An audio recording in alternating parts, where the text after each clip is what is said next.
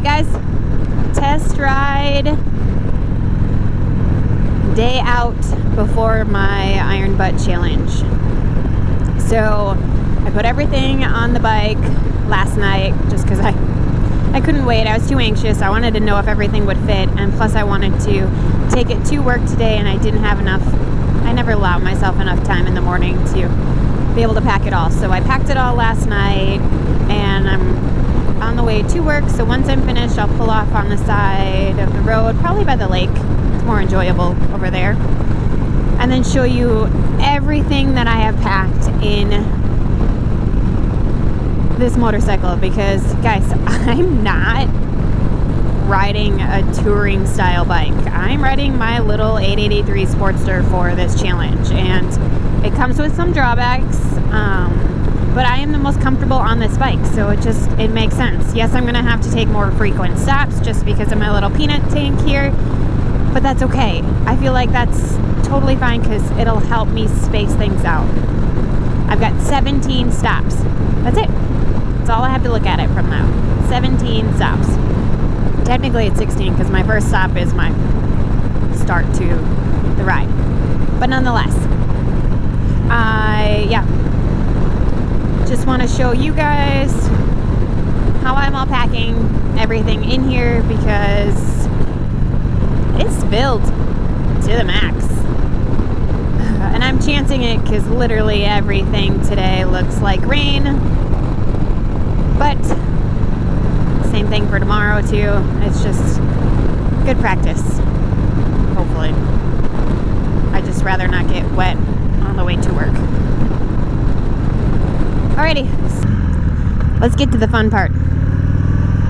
We are going to hurry home, and I will do this from the garage because, yeah, I don't want to get any more wet. Alright, signing off. Okay, guys, take two. Because apparently, the first go around, my GoPro was still pretty wet from the rain coming home, so it did not record any of my audio, unfortunately. So I got to do this all over again, but practice makes perfect, right?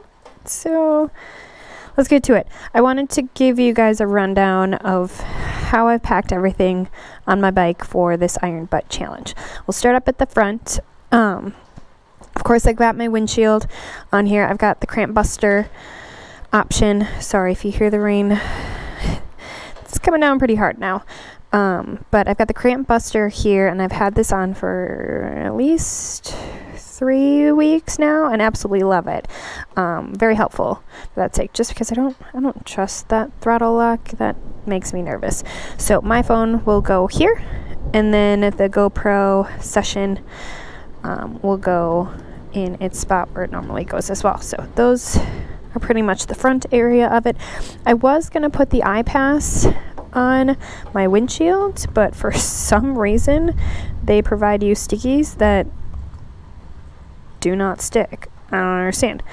So I'm going to throw it in the front part here when I need um, to go through Illinois and use that toll because it said it had to be on your windshield, on your handlebars, on your gauges, or on your tank. So this is pretty visible. If you're coming from above, they'll be able to see it. So I'm going to keep that guy in there. We'll move on to tank bag area. So this is small enough for my bike and I think it fits pretty well with it. I don't need too much on here. I don't like to have a lot of crap up at the front, but I need some of these essentials to be able to reach right away. So I've got this guy mounted on here in the front part. I've just have my small DJI Osmo Pocket. This I will use at the gas stops just to record any of the videos so I don't have to take my phone off of it, redo apps or anything like that. So I can record. I don't know if you guys can see it. Record myself doing some of these videos that way. So that'll be up in the front so I can easily access it. And then I also have my checklist of what to do at every single stop to make sure I'm not missing any steps. So every time I get off the get off to get gas, I'm going to take my helmet off. It's just, it'll be a nice refresher. Um, I'll connect with my GPS routing um, map just to check in with that to make sure it's verified for the certification, fill up with gas, double check the receipt, then mark the odometer meeting or reading and the spot number that I'm at. So I have 17 spots technically for my iron butt, and then woo, it's really coming down now. Um, take a picture of the receipt, stretch, and then peel off the next location, which means I had originally planned. This is my pencil holder, which will house everything in here.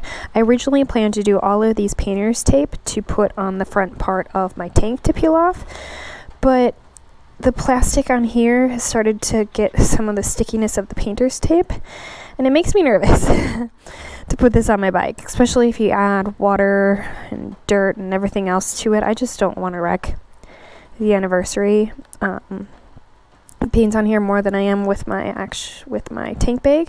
So I'm just going to keep it on here and peel off when I need to to do my check-ins. Just just will help me as far as numbers go. Of course, I've got all of my verification stuff in here and then my gas receipts will go in this guy just to keep everything organized all housed in there, front and center.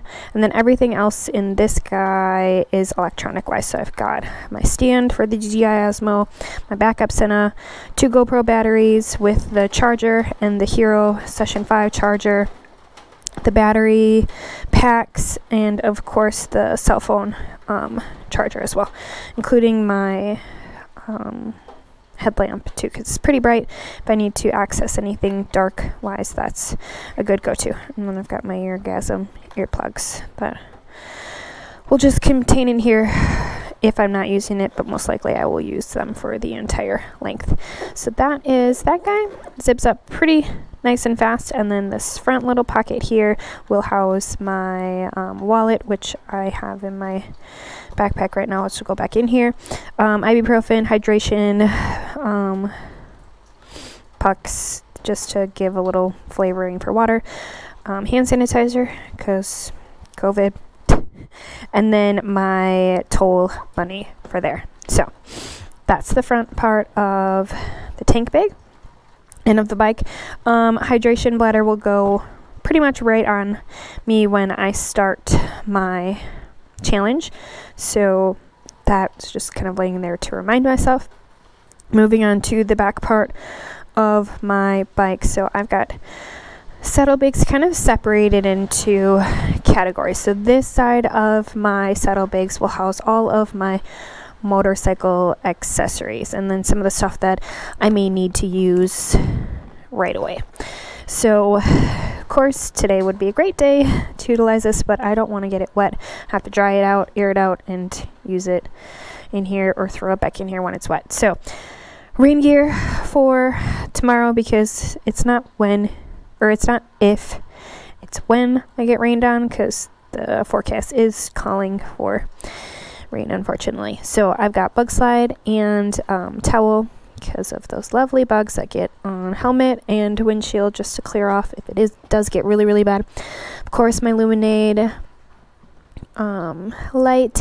I've got the air pump in here, the tire replacement bag, all of the other accessories that I showed you on the dining room table yesterday.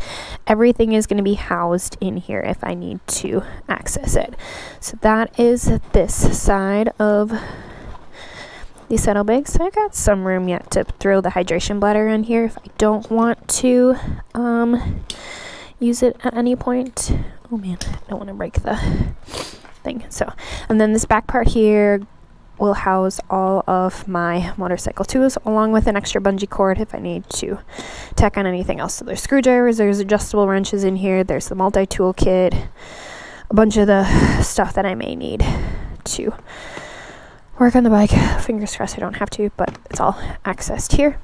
Then I have the bug out bag and the saddle bag on this side. So let me take off the ROK strap here quickly. This has come in handy pretty well. That's sake, but just take it off for now. So in this bug out bag, it's kind of worked in layers. So this top part here has the hand warmers and toe warmers if I need to use them, and then the I'm laughing every time I pull this out, but I most likely will probably wear this is um, the biking padded shorts in here. So if I need to change up comfort level, that's in that guy here. I have um, nothing in this part here. But this guy houses just the extra base layers if I need to layer up for the evening. So long sleeve and leggings. And then this next part here has my snacks because I tried to put them in my tank bag, but there was just a lot and it didn't feel organized. So I threw everything in a Ziploc bag, and any other snacks will be able to fit in here because I have a whole heck of a lot of space that I can throw extra water bottles. The um, I also have a tank bottle that was supposed to come and did not arrive today. Hmm. Okay. So I might have to run to good old Fleet Farm tomorrow morning, but um, I want to have that extra gas on me. But I've got the vest in here and the extra layer for my motorcycle jacket. So that's that layer. And then this bottom portion here, which I think is actually zipped up on this side, yep it is, will house, because I'm not going, I'm not staying anywhere, hopefully, not staying anywhere. I don't need to. But I've got my tent, and then I've got the blanket and pillow. Um, Army Woobie blanket, if anybody knows what that is. It's amazing. Compacts really, really tight down in here. So if I need at all to set up camp for any reason whatsoever, I just have the pop up one person tent and a blanket and a pillow. Will give me enough comfort for a couple hours if I need to take a rest for that sake. So that is that side. And then to move on to this side, this is housed all of my like apparel, my clothes. So opening up this, I have things that on top that I'll need the most. So of course, when it gets down into those temperatures on Lake Superior, it's to get a little cold. It shouldn't get too bad. It's like mid 60s, I think. So not too outrageous is what I was looking at, but chaps are in here. I stole my husband's high visibility PT belt that will go around my waist when I'm riding at night just to give me an extra level of visibility for people riding at night that aren't watching where the hell they're going. I don't know. It's always good to have.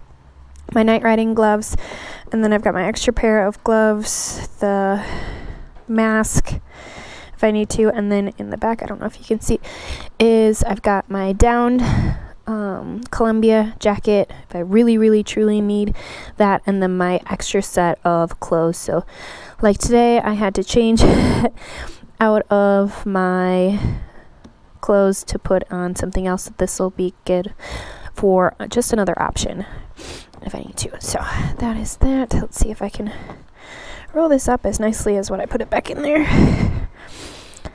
Chaps and. So, not much room left on this guy, but that's okay. I'd rather have the clothes I need if I have to stay anywhere available to me. And just in this small pouch here, it's not a lot, but just the miscellaneous odds and ends. So, the puck for the kickstand, um, riding clears if I need them, and then my brush for that sake. So, yeah, that is really truly it, guys, for my bike and what I'm taking on this challenge. Like I said, I'm not going really long, a long distance and staying a long time. I'm only going 24 hours, so I don't need a lot, but I want to be prepared if I do have to stay anywhere up in the UP. Um, make it somewhat enjoyable if I can't complete that challenge. So that is it. And if there's anything else you think of that I am missing, put it in the comments down below here in this video, I'd love to know um, if you guys have done an iron butt or any long distance endurance traveling before. Love to get your feedback on things that I may have missed because, of course, I haven't done the actual challenge yet. That will be tomorrow.